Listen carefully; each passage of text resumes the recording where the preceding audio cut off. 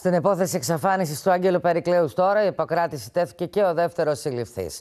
Φέρεται να είχε καταθέσει ψευδείς στοιχεία στους ανακριτές ως προς το όχημα που οδηγούσε αρχικά ο 24χρονο, ο οποίος επίσης βρίσκεται υποκράτηση.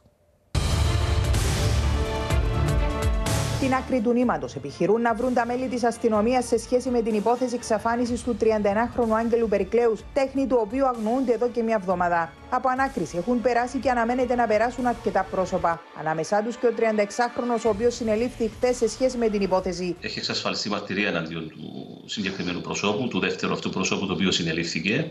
Να πούμε ότι η μαρτυρία προέκυψε μετά από έρευνες που έχουν γίνει σε σχέση με την υπόθεση. Σύμφωνα με πληροφορίες του Α, ο νεαρός φέρεται στην κατάθεση του να είχε δώσει στοιχεία από προσανατολίζοντα τις έρευνες σε σχέση με τρίτο όχημα που εμπλέκεται στην υπόθεση. Συγκεκριμένα, ο 24χρονο βασικός ύποπτος που τελεί υποκράτηση από την περασμένη Κυριακή είχε μεταβεί στην οικία του 36χρονου στη Λευκοσία με συγκεκριμένο όχημα. Αφού το άφησε στην περιοχή, παρέλαβε άλλο όχημα ιδιοκτησίας του 36χρονου και αναχώρησε για τη Λεμεσό και συγκεκριμένα το διαμέρισμα του ελίποντα Άγγελου Περικλέους. Μετά από έρευνες, το όχημα που οδηγούσε αρχικά 24χρονο εντοπίστηκε στην περιοχή του Αγίου Γεωργίου Αλαμάνου παραμένοντας άγνωστο μέχρι στιγμής ποιος το οδήγησε στο συγκεκριμένο σημείο. Έχει κληθεί από την πρώτη στιγμή, έχει προβάλει κάποιους ισχυρισμούς οι οποίοι από τη διερεύνηση φαίνεται να μην ανταποκρίνονταν στην πραγματικότητα, δεν ευσταθούσαν. Οι δύο φίλοι υπενθυμίζεται πως είχαν αναχωρήσει με το όχημα του Περικλέους προς άγνωστη κατεύθυνση, ενώ το σαλούν όχημα του 24χρονου που παρέμεινε στην περιοχή παραλήφθηκε από τις αστυνομικές αρχές μετά από την εξαφάνιση του 31χρονου και μέσα σε αυτό είχαν εντοπιστεί 69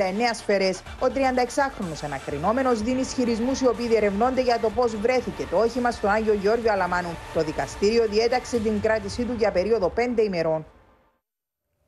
Στόχος βομβιστών έγινε για δεύτερη φορά μέσα σε δύο εβδομάδες στο οίκημα του Θόηλα Κατάμιας. Η